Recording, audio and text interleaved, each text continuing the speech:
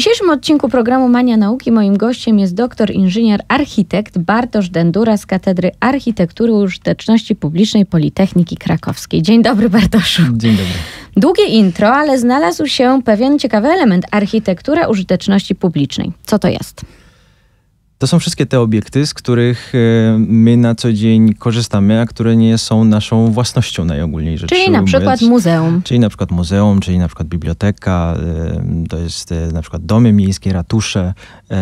Wszystkie te budynki, w których, z których możemy korzystać, które nie są zamknięte dla nas, tak jak na przykład biurowce, gdzie nie mamy na ogół dostępu, ale to są obiekty, których, których możemy wejść, do z których możemy korzystać i, i no, w jakiś sposób spędzać tam czas. Jaką one muszą mieć specyfikę? No, z mojego punktu widzenia, jako nie architekta, kompletnie inna jest y, specyfika miejsca takiego jak muzeum, kompletnie inna dworca, kompletnie inna szkoły. Chyba to mhm. też jest budynek użyteczności publicznej. W związku z tym, na co architekt musi zwrócić uwagę? tu nie ma jakiegoś jednego podejścia do, do, do projektowania. To w zasadzie jest jakaś taka decyzja inwestora i, i, architekta, która, która w trakcie rozmów przy, przy takiej części wstępnej, tak zwanej koncepcji, e, zostaje nakreślana ale y, generalnie dąży się teraz do tego, żeby to były obiekty otwarte. Ja pamiętam, jakim dla mnie było szokiem, jak e, e, pojechałem do Finlandii, udało mi się wejść do biblioteki e, uniwersyteckiej i mogłem wejść do każdego, do każdej części tej biblioteki. No coś, co, co wydawało mi się nie do pomyślenia, no, bez karty identyfikacyjnej, bez jakiegoś emblematu, że, że tak mogę sobie chodzić między tymi książkami XVIII-XVII wiecznymi i chodzić między tymi studentami. To było coś dla mnie zupełnie niewyobrażalnego, ale tak, y, tak powoli w tym, kierunku, w tym kierunku idziemy. Niedawno byłem w Berlinie e, i, I, tam też odwiedziłem e, zaprojektowaną niedawno i oddaną do użytku niedawno bibliotekę.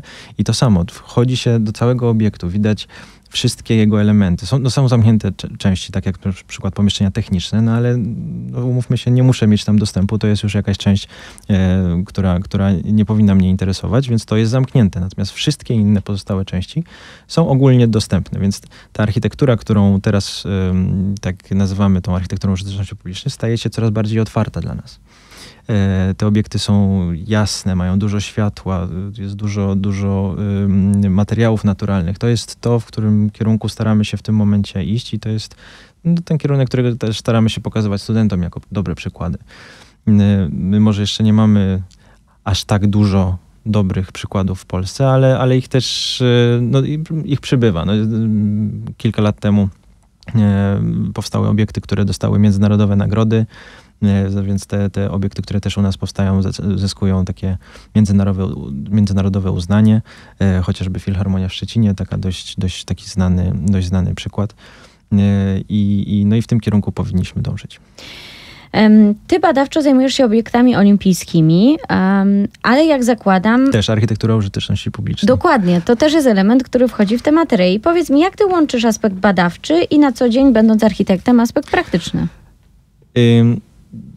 To nie jest tak, że badając architekturę użyteczności, e, architekturę użyteczności publicznej, w tym przypadku też architekturę olimpijską, ona jakoś jeden do jeden przenosi się do mojego projektowania. To ja nie wybierałem tego tematu w tym celu, że chciałem od tej pory projektować tylko obiekty sportowe i obiekty olimpijskie. Natomiast każde e, każdy wyjazd, każde obcowanie z architekturą, każde spotkanie z architektem, który to projektował, e, no jakoś poszerza horyzonty.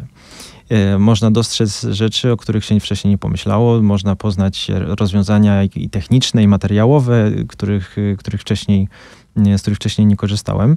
E, I to rozwija e, tak naprawdę te, te, ta szansa wyjazdów i, i, poznania tych obiektów, popatrzenia na nie, czasami nawet posiedzenia kilka godzin przy tym obiekcie, zobaczenia jak światło operuje na nie, jak się zmienia słońce, jak cień, który pada na nie z, z, z tych budynków na, na, na teren jak została zaprojektowana okolica tego stadionu. To wszystko, y, to wszystko powoduje, że ja y, też zupełnie inaczej potem traktuję projekty, którymi się zajmuję w pracowni.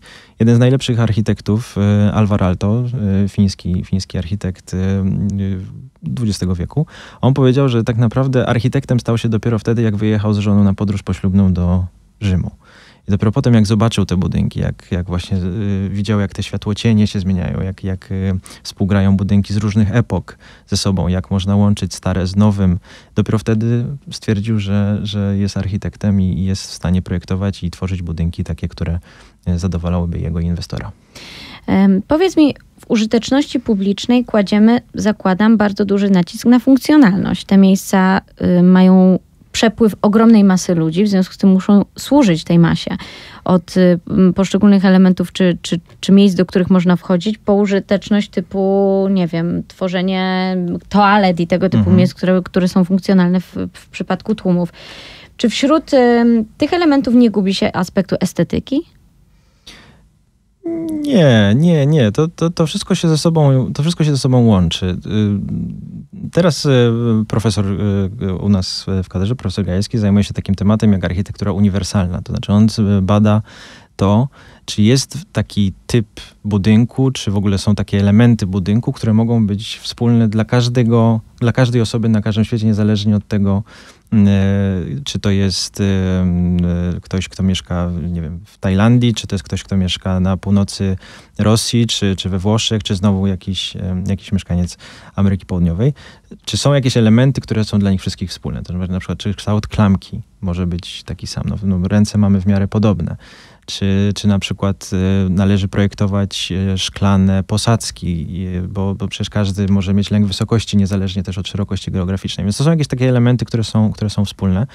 Natomiast potem jest też ta kwestia jakiegoś takiego przełożenia mm, charakteru miejsca, to w którym ten budynek powstaje, na, no, na to, co projektujemy. Czyli no, y, w Finlandii na przykład, czy w ogóle Skandynawii, e, więcej mamy tego e, dodatku drewna, bo to jest takie typowe, typowe dla nich.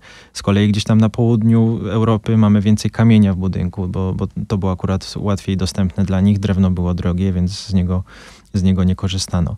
E, gdzieś tam e, w Chinach mamy bardziej nawiązanie do tej tradycyjnej ich, e, do tej ich tradycyjnej architektury. No więc to są jakieś takie elementy, które potem powodują, że ten budynek staje się rozpoznawalny i jest wiadomo, że pochodzi, pochodzi stamtąd.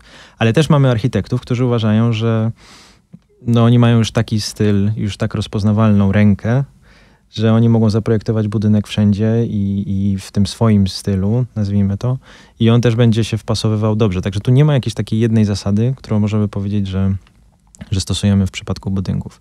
To, co my na przykład staramy się, y, jak pracujemy ze studentami, y, staramy się pokazywać y, możliwie dobre przykłady, naszym zdaniem, które właśnie są, są budynkami otwartymi, jasnymi, gdzie, gdzie jest dużo tych naturalnych materiałów wykorzystywanych i to staramy się im pokazywać i, i jakoś tam przemycać delikatnie do tych ich pomysłów, które, które mają. Zresztą ja, ja tą pracę ze studentami bardzo lubię. Ona to jest, to jest wieczna burza mózgów. To jest, to jest coś, czego później już w zawodzie architekta aż tak bardzo nie ma. E, ta taka swoboda, możliwość zaprojektowania czegokolwiek, nie bacząc na to, czy, czy to jest drogie, tanie, czy, czy to jest realne, czy może nawet to, już, to już przechodzi jakieś możliwości techniczne, przekracza możliwości techniczne dzisiaj znanych materiałów, no ale może e, za niedługo się okaże, że grafen stanie się tanim materiałem i już, już będzie można robić wielkie przeszklenia i, i stosować je w budynku, czy robić jakieś konstrukcje, elementy konstrukcyjne, które będą właśnie polegały na, na tych przejrzystych materiałach. Także to są to są bardzo fajne, bardzo fajne zajęcia i, i, często robimy je w rzeczywistych działkach. To znaczy wybieramy miasto, z którym, mm, które nam daje jakieś działki, mówi jakie mają problemy, czego im brakuje. No, studenci projektują E, czy to właśnie bibliotekę. Ostatnio mieliśmy Centrum Rekreacji i Sportu, trzeba było zaprojektować i, i, też e, badaliśmy, jak, jak te budynki wyglądają w Europie, jak się je buduje na świecie, z jakich materiałów. W ogóle tworzyliśmy cały program dla tego budynku, czy, czy na przykład e, jest sens, żeby w Dębicy powstawało załóżmy korty do skłosza, skoro już tam są, a, a no miasto nie jest największe, to może trzeba byłoby zrobić coś innego Mieliśmy też projekty w Tarnowie, mieliśmy w Bieczu i to i do każdego z tych miast próbowaliśmy dopasować te programy tych budynków użyteczności publicznej. Dziękuję Ci bardzo Bartoszu. Moim gościem był dr Bartosz Bendura z Politechniki Krakowskiej, który obrazowo opowiedział nam o architekturze użyteczności, użyteczności publicznej. Dziękuję Ci bardzo. Dziękuję, dziękuję bardzo.